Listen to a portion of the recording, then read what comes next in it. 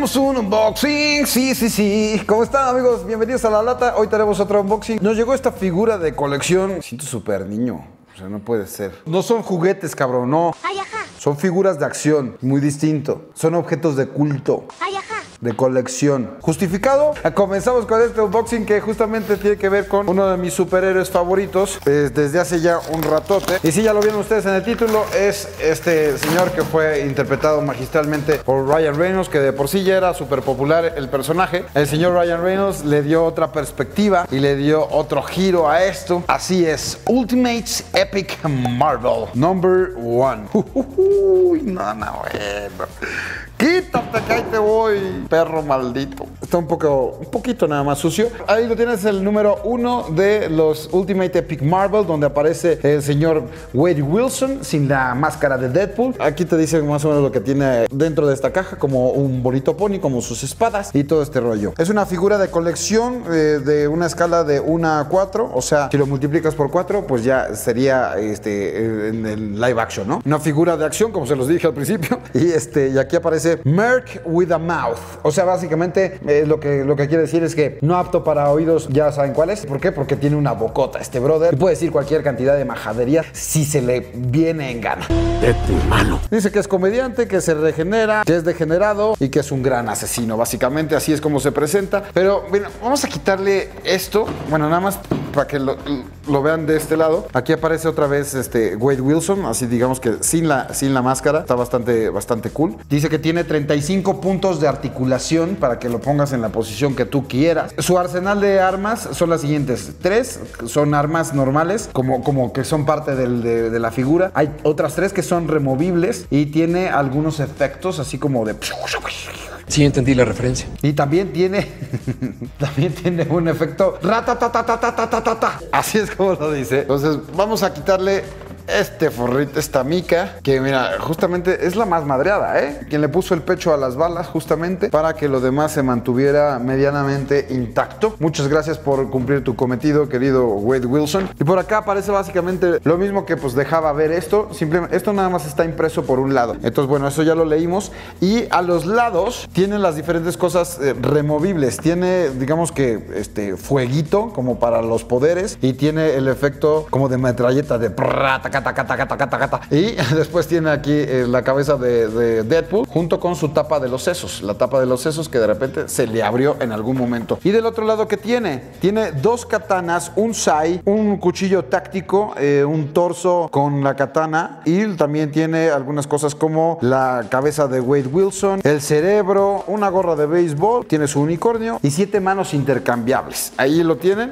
Eso justamente, lo que eh, les acabo de decir, viene aquí. Y por enfrente, pues aquí ya lo ven. Desde adentro se empieza a apreciar algunas cosas como las manos, como este, el rifle, sin albur. Pero déjenme decirles que esto no acaba aquí. Miren nada más, tiene un display como para pues, mostrarlo y que se vea todavía más cool. ¿Qué hubo, brother? Está cool, ¿no? Por el otro lado, miren, lo, voy a abrir, que ustedes lo vean por atrás. Vienen, digamos que dos versiones de Deadpool. Uno en traje rojo y otra en traje gris. Que bueno, en la película, en la segunda parte de, de Deadpool en el cine, lo justificaron a través de una explosión. El traje, digamos que más oscuro. Pero bueno, si lo abrimos, esta parte pues ya se puede, se puede abrir fácilmente. Todo esto tiene como algunos tepsitos para que ustedes los puedan abrir y ya puedan descubrir todo lo demás, todo lo demás que tiene. Y del otro lado, iguanas ranas. Está muy chido esto, güey. Mira nada más. Aquí está la cabeza, la tapa de los sesos, la cabeza, el pony, Wade Wilson con cara así como, este, pues con su, con su bonito rostro, ¿no? Que ya sabes que este señor eh, fue sometido a diferentes experimentos que le dieron radiación y que le quemaron y le desfiguraron prácticamente el rostro. Pero como tiene mucha ondita, pues también se puede poner su gorra. Y esto es lo que tienen las figuras de acción que pues se convierten como en una Barbie muy muy cara, pero se puede intercambiar, le puedes poner su gorra, le puedes poner lo que quieras. D cool. Mira nada más, una chimichanga incluida. Vamos acá a la otra parte donde aparece ya la figura como tal. Están viendo la dimensión, ¿no? Pues prácticamente abarca todo mi, mi torso, el tamaño de pieza cabeza de este eh, Deadpool. Es como un recién nacido. Está muy bien asegurado por la parte de atrás con estos plásticos, con estas cintas de plástico que la verdad es que a mí me gustan mucho porque solamente las tienes que encontrarle como la onda para desenredarlas. No necesitas tijeras o cosas del otro mundo. Simplemente tiene ahí como un amarre especial. Miren, nada más, nada más dándole vueltecitas es como logras este, abrir esto. Obviamente necesitas un poco de tiempo y de paciencia. Si te desesperas, pues también lo puedes, le puedes dar un tijerazo y listo.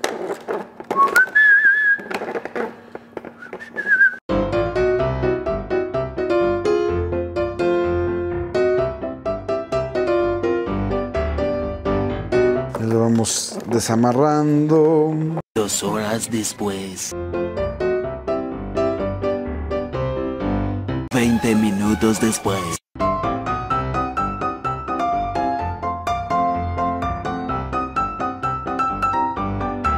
Mucho, mucho más tarde.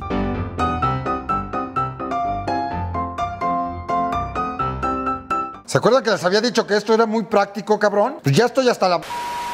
Cineastas y guías pasaron 16 años siguiendo a una familia de leones Julián Álvarez y su norteño banda, al volante con el escorpión dorado. Calcetín con rombos,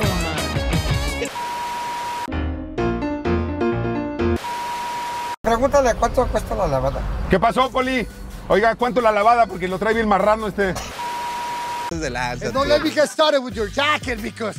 Bueno, ¿qué estoy haciendo? Este güey apenas habla español. ¿Qué va a entender inglés? ¿Cómo están? Bienvenidos, señoras y señores, a este top 5 de la tecnología Stark. Problemas de hombre moreno claro. Vamos a hacerles un tutorial de cómo abrir esto. Está cañón, güey. De todo se aprende, ¿no? Moraleja, usen tijeras, muchachos. Tres horas después. Puedes hacerlo de una vez. Se me terminaron los carteles. Listo, termina de desenredar. Ahora liberamos un poco esto. Va a salir bien de su operación, señor Wade. No se preocupe. Ahora sí podemos liberarlo. 3 y 28 de la madrugada. El antiguo narrador se cansó de esperar y tuvieron que contratar a uno nuevo. Varias bromas malas después. Boom, qué güey, qué chingonería. Está bien pesado. La prueba del peso que siempre les hago con esta técnica ancestral es una figura de acción muy detallada, no tan delicada en el buen sentido de la palabra. O sea, está, está ruda, está pesada, está fuerte, tiene materiales rígidos. Y escuchen el madrazo a 10 centímetros de altura. Ahí lo tienen Wade Wilson, que como, como ven es eh, con muchas articulaciones para que pueda tener diferentes posiciones y cuenta con diferentes artefactos, eh, diferentes cositas que se pueden poner. Por ejemplo, su portaespadas, que aquí tiene dos orificios en los cuales seguramente se puede embonar esto. ¡Pum! Listo. Ya lo tienes ahí. Y después que dices, oye, eh, yo quiero que tenga sus portaespadas, pues no son lo mismo sin sus, sus katanas, ¿no? Entonces necesita unas katanas. Claro que sí, con todo gusto. Deadpool no puede ser Deadpool si no tiene obviamente una buena pistola. Y Deadpool pues obviamente necesita una, eh, un buen revólver. Y la mano es, los dedos son como maleables, son, son como un poco, pueden doblar un poquito para que justamente entre esta pistola, esta arma, aquí está el efecto de racatacatacata. Si tiene esa 45, pero también tiene una, una Uzi. ¿Este dónde se pone? Ah, mira, se enreda, dice que se enreda para que sean como, mira, son como efectos en tercera dimensión. Ahí está una de sus metralletas y mientras la acciona se ve el efecto de racatacatacata, no en el agujero, en los agujeros, porque ambas armas tienen un pequeño hoyito, va justamente los efectos. De ahí en adelante, creo que ya jamás podré negar cuando me digan que soy un niñote. No, pero es que este lo compré para Dan y Luca. Cuando crezcan, cuando tengan edad para apreciar las cosas, obviamente. Está bien cool, ¿no, güey? O sea, sí, sí te pones bien niñote. Y mira, gangsta. Mira.